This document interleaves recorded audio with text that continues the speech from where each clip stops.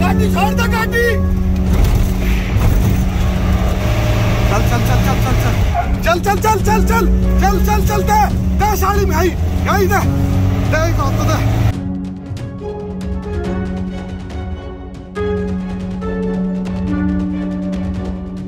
ये देखिए, कैसे गुरुग्राम की सड़कों पर गौ तस्कर मौत का खेल खेलने में लगे हैं।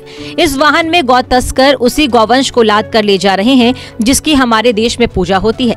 मगर इन्हें इस आस्था और श्रद्धा से कोई मतलब नहीं। इन्हें तो गाय चोरी करने और उसकी तस्करी करने में भारी मुनाफा जो कमाना है। पूरा मामला साइबर सिटी गुरुग्राम का है, जहाँ गौरक्षकों को लगातार शिकायतें मिल रही थी। कि एक पिकअप रोज़ाना गाय चोरी कर गायब हो जाती है। जिसके बाद ऐसे ही पिकअप जब गौरक्षकों के सामने दिखाई दी तो क्या हुआ? खुद देख लीजिए।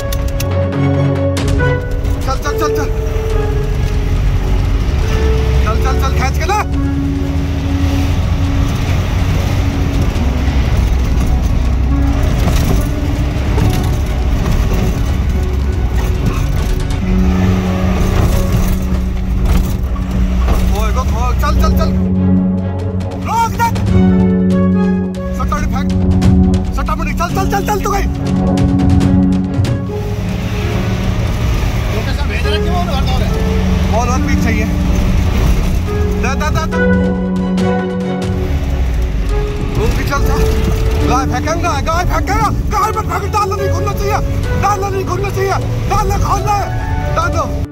तो देखा आपने इस पिकअप में कई गौवंश लेकर भाग रहे तस्करों के पीछे जब गौरक्षकों की गाड़ी पड़ी तो अपनी जान बचाने के लिए आरोपी पिकअप को पागलों की तरह बेलगाम भगाते रहे। इस दौरान आरोपियों ने गौरक्षकों की गाड़ी पर पथराव किया और बीच बीच में पिकअप से गौवंश भी बाहर फेंकते रहे। मगर आखिर में जब सामने रोड बंद मिला तो गाड़ी छोड़कर फरार हो गए। मगर इस बीच गौरक्षकों ने एक आरोपी को पकड़ लिया। कहाँ के रहने वाले हो? क्या लेके जा रहे थे इसमें गाड़ी में? गौ माता कहाँ से लेके आए? हम्म? कहाँ से लेकर आए? से मंडी से। चोरी की थी? हम्म, कितनी गायें थी? तीन। और कितने साथी थे तुम्हारे? कितनी फेंक की है? हमें है किस लिए चोरी की थी? किस लिए चोरी की थी? मुझे तो मालूम पहली बार भगवान नहीं चोरी किस लिए की थी? मुझे याद और भी साथी थे तुम्हारे तुम्हारे साथ? हाँ। कितने लोग थे? छः पर पाँच बंदे। भागने के लिए तस्करों ने पुराने गुरुग्राम की छोटी छोटी गलियों में गाड़ी फंसा दी। सेक्टर 9 में अंडर कंस्ट्रक्शन रोड पर फंसने के कारण तस्कर अपनी गाड़ी को मौके पर ही छोड़कर फरार हो गए। गौरक्षकों ने गाड़ी पकड़ने के बाद पुलिस को सूचना दे दी जिसके बाद पुलिस ने आरोपी तस्कर और उनके वाहन को बरामद कर लिया। आज हमने सूचना मिली थी की एक पिकअप गाड़ी गोवंशों को प्रतिदिन भर के जाती है, जिसकी सुबह हमें सीसीटीवी में फुटेज मिलती है, ना कि पिकअप मिलती है। हमने आज ये पिकअप झाड़सा में मिली, तभी हमारी टीम इनका पीछा करने लगी। और काउ सेल जो काउ प्रोटेक्शन सेल हमारा पुलिस का बनाया हुआ है, गुरुग्राम पुलिस का, वो भी साथ रहा। और इसके काफ़ी पीछा करने के बाद इस गाड़ी को पकड़ा है इस गाड़ी वालों ने काफ़ी पथराव करा है। कम से कम सौ तो पत्थर मारे हैं हमारी गाड़ियों पर, और हमारी गाड़ी के आगे गाय गोवंशों को फेंक दिया, जिससे गाड़ी पलट भी सकती थी।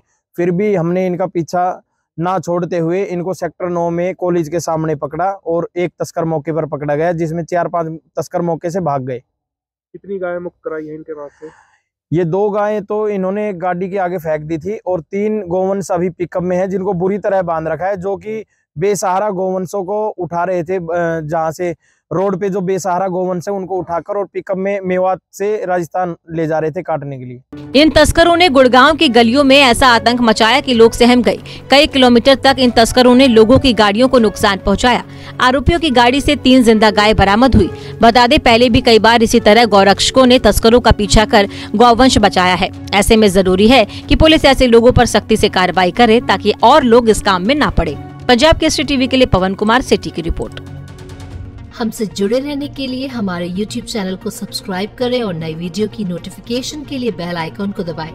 अगर आप ये वीडियो Facebook पर देख रहे हैं तो लाइक ज़रूर करें और ज़्यादा से ज़्यादा शेयर करें। धन्यवाद।